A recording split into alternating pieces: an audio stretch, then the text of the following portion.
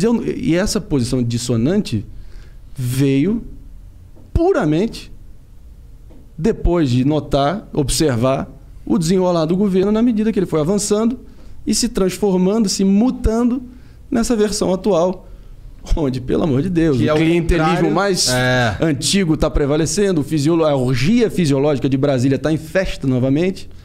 E isso é exatamente o que ele prometeu que ia ia- matar. Foi o né? vídeo ali do Toma É. lá da cá, meu irmão. É. E cada vez mais ele tá Agora- indo pra esse lado. Aí ele, os, os apoiadores vão falar, não, mas essa é a política, tem que jogar a política. E tem que mesmo, cara. Eu sou da tese também, e vou que- falar aqui. Tu tem que mesmo? com- Eu tenho que ir? Não, não, não, não. Não, Tu, digo- tu tem que mesmo é, tu usar o toma lá da cá no sentido? Você acha Não, que é o realmente. seguinte, meu irmão, com postura, com ética, com firmeza, sem você ter rabo preso, ninguém te chantageia. Claro.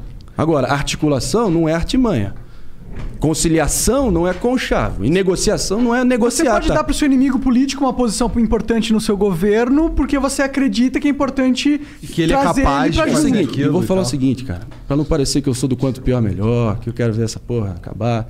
Eu sou a favor, eu sou um, eu sou num passo de, eu sou literalmente somente um brasileiro engajado e absolutamente indignado, permanentemente indignado com essa porra toda, essa essa merda que a gente fica se deparando dia após dia, legislatura após legislatura, ciclo após ciclo.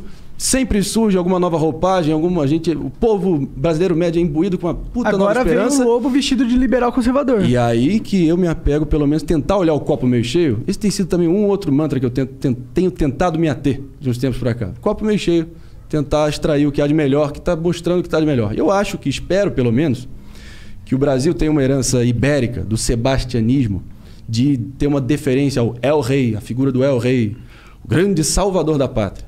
Que você, que as massas desassistidas depositam uma puta confiança num redentor, figura redentora que vai nos prover tudo e vai solucionar os- todos os nossos problemas. E, de certa forma, o Bolsonaro encarnou essa, essa figura, né?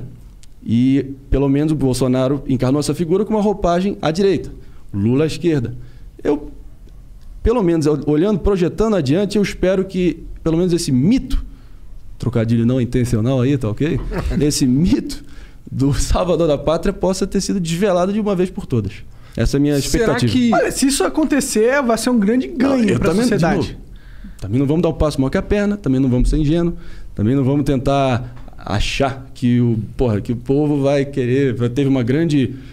Povo foi deslobotomizado, que todo mundo agora foi iluminado. Não é isso que eu estou falando, não. Mas, porra, o Brasil permanece até em várias áreas, aprofundou e agravou todos os problemas crônicos estruturais que herdou das, das, Da das- esquerda. das- da, da esquerda Do PT. e de todo o fisiologismo de Brasília.